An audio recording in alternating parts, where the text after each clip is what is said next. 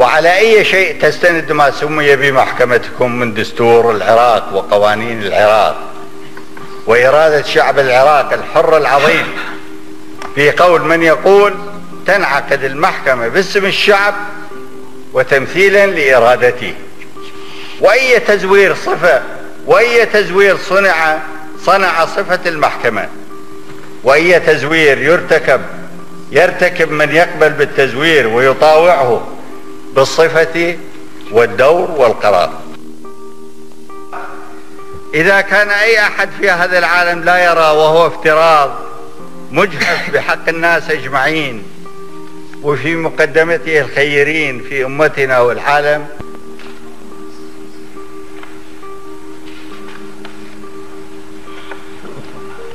فمن أراد منكم أن ينقذ سمعته وينقذ أهله أجيالا فأجيال وشرف المواطنة فيه. من عبء ما يورثوه لهم من عار فليفعل. فليفعل بالطريقة التي هو يعرفها ويستطيع عليه. ومهما تكن صفة منعاني فإنما تتجرح نفسي وينزف قلبي دما لو شت عن سراب الكرامة والحق أي عراق. وأبتئس أن أراه يدمغ بما لا أتمناه له. بما في ذلك الخاطئين. والله تواب ويحب التوابين. فهل أنتم فاعلون؟